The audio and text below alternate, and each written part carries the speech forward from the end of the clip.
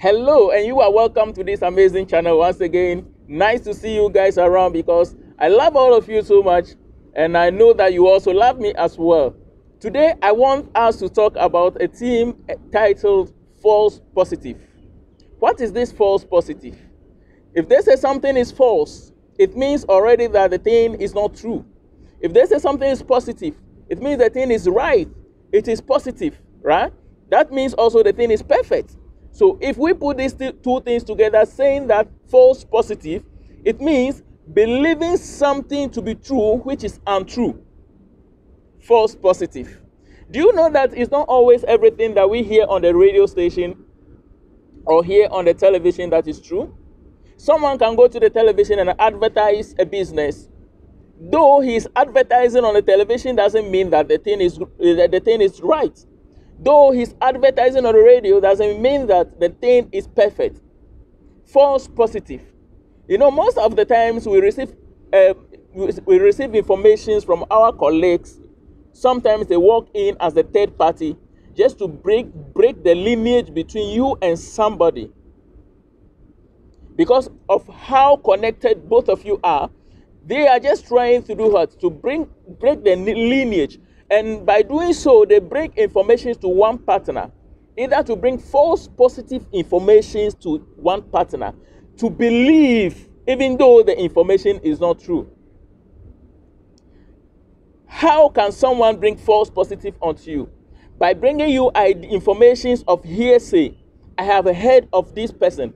I have heard of this and that.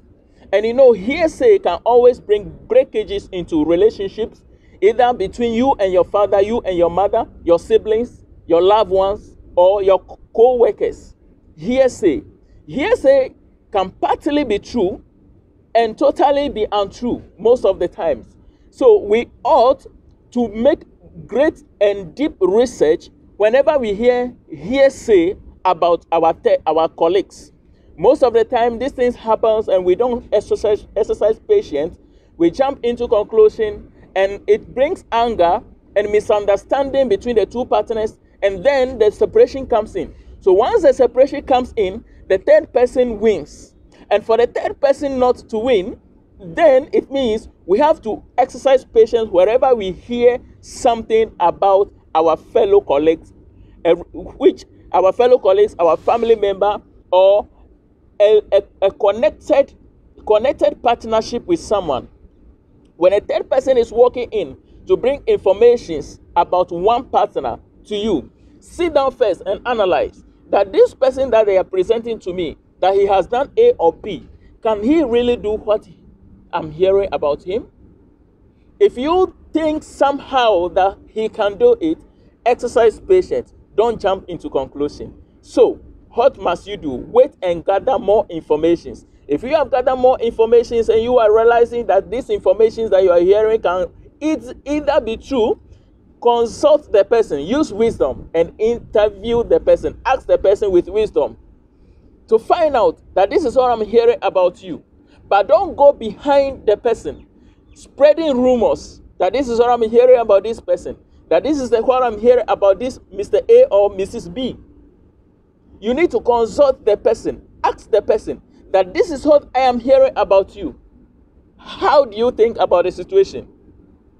Perhaps the, what the person or your fellow colleague will tell you is not the same as how the third person is presenting it to you. The third person might try to present it in, in, in a nice way just to bring a breakage between you and your loved one, you and your family member, and you and a connected or a co-worker.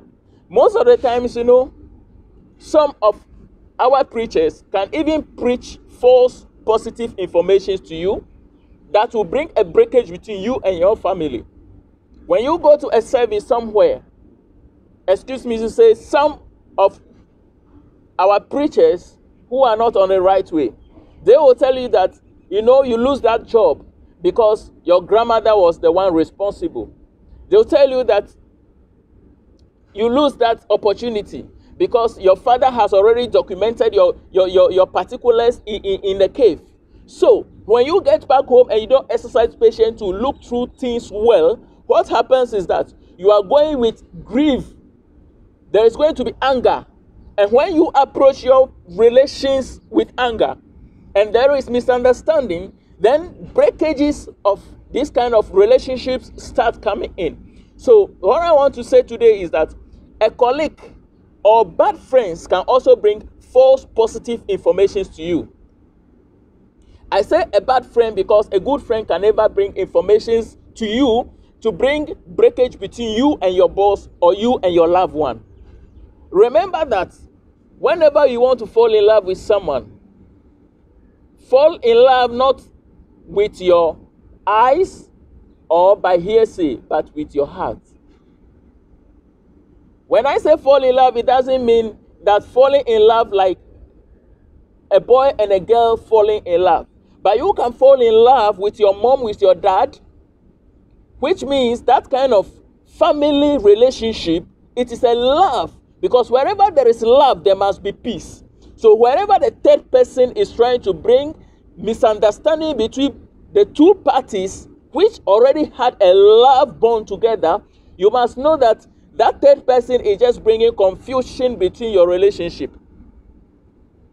False positive. Whenever we receive false positive informations, let's try hard to analyze, to sit down, calculate, think about it, gather more informations to know if the information is really true. Thank you, all my fans. I love all of you. If you love this simple message, share to someone to listen. Don't forget to click the like button. And if you are new to this channel, please kindly click on the subscription so that you will continue listening to these amazing messages of mine. And please, your contributions are more important. Your contributions in terms of suggestions and your messages, drop them in the message inbox for me. I'll read them out and next time I will update.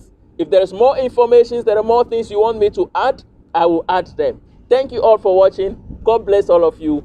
Let's be careful about false positive information. See you once again. Bye for now.